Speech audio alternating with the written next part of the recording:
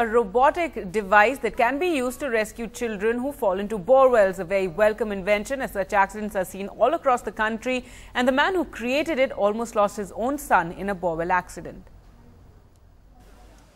A simple robotic device that could save little children trapped in bore wells. The robo's arms can be maneuvered to lift the child, guided by images from a built-in camera. This plumber turned instructor Manikandan worked on this for 11 years after his own son had a narrow escape in a tube well.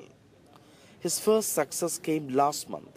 The robo rescued a three-year-old child in Tamil Nadu's Theni district.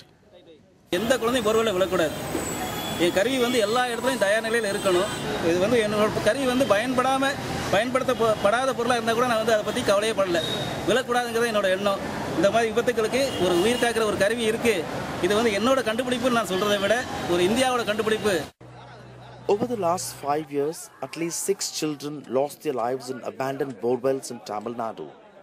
Now, experts in Tamil Nadu are reviewing the device for use by the Fire and Rescue Department.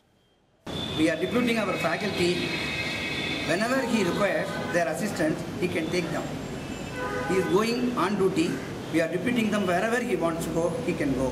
Because it's a social service he's making, we are giving him some financial aid to procure the modern equipments like camera and uh, this uh, vacuum pump, etc., etc. Manikandan, the innovator, is not seeking a patent. He just wants lives saved.